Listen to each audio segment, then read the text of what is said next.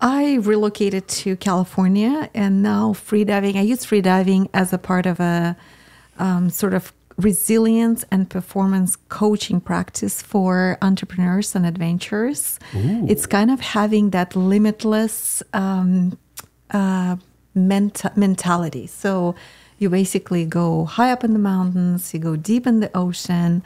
Um, you want to launch a venture, so you kind of set an intention and then you dive into it as you relax in that intention. So, that intention that you set is not going to generate any kind of anxiety or self sabotage. So, you're open to the experience.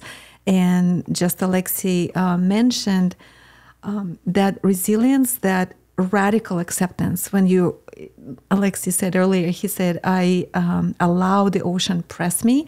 That's exactly it. So we just sort of like not fighting with the outside world, but embracing it and being soft in whatever comes our, our way.